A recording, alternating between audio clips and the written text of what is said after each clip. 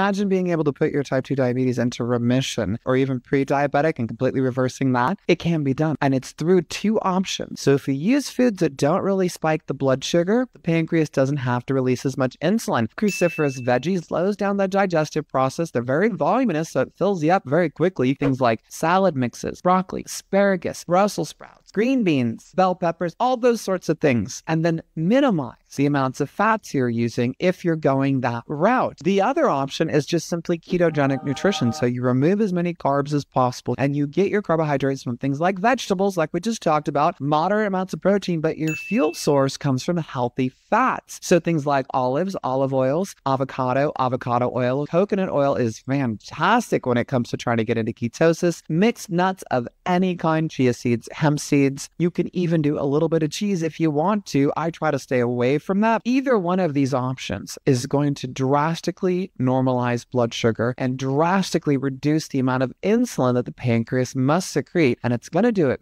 very quickly.